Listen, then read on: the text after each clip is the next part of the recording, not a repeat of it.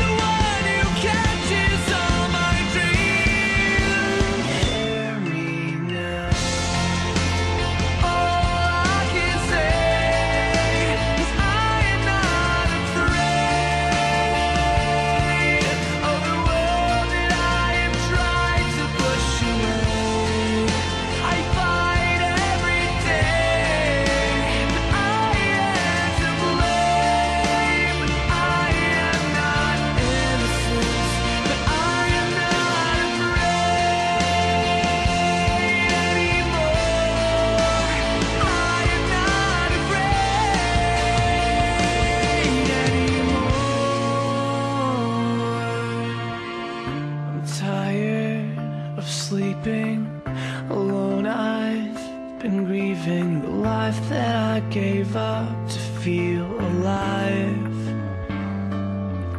I want